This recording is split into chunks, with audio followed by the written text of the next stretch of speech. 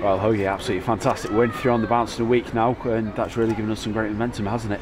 Yeah, delighted. Uh, very delighted for the lads. We've worked exceptionally hard. Obviously, it's always difficult when you're uh, on the wrong end of results. Um, we thought some of the performances were still there, um, and we sort of getting kicked in the teeth a little bit.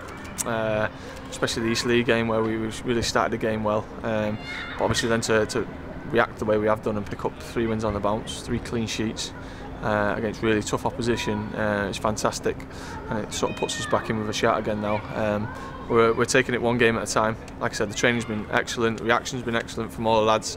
Uh, and it just shows that the character of the boys and the togetherness of us. There's been a few lads that have come in that haven't played as many games as they'd probably like to, but that's what you get with uh, the strength of the squad that we've got here. And when they've been called upon, you know, the, the lads that have come in and done the job have, have, been excellent. So it's it's important that whoever's got the shirt now uh, is responsible for keeping the performances as, as they have been and, and, and pushing us towards the back end of the season and to mark it as well at long last. First goal of the season for you. But that was a fun hit, hit yeah obviously delighted on a personal basis because obviously we work hard on set pieces and stuff and uh, especially for the lads that are putting the deliveries in it's good for, for the boys to get on the end of it. And it's just nice that uh, obviously me and Pondy had a chat yesterday that uh, we need to take some of the, the limelight off Pidgey because he's flying at the minute. But listen however they come uh, Greeny's screaming was unbelievable um, but we don't care as long as they go in the back of the net and we, we, we get the three points at the end of the day. And uh, that's the main aim for us is, is to get as many points points out of the last nine games that we've got left to go and uh, focus again, recovery, make sure we do everything right, standards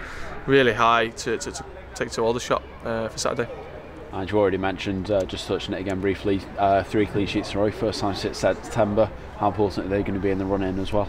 They're massively important because obviously timings of the goals as well. Um, uh, you know, if we're not conceding goals at, at, our end, there's been a lot of pressure gone into our box over the last couple of games, and you know, as a group of players, and Nilo, the goalie, we, have dealt with it massively. And you know, earlier on there was a fantastic double save from Nilo, and we're, counting on individuals and a team performance. And to be fair, everyone's doing their bit at the minute, and you know, we need that, that to continue. And it's always satisfying to, to, to come away with a clean sheet.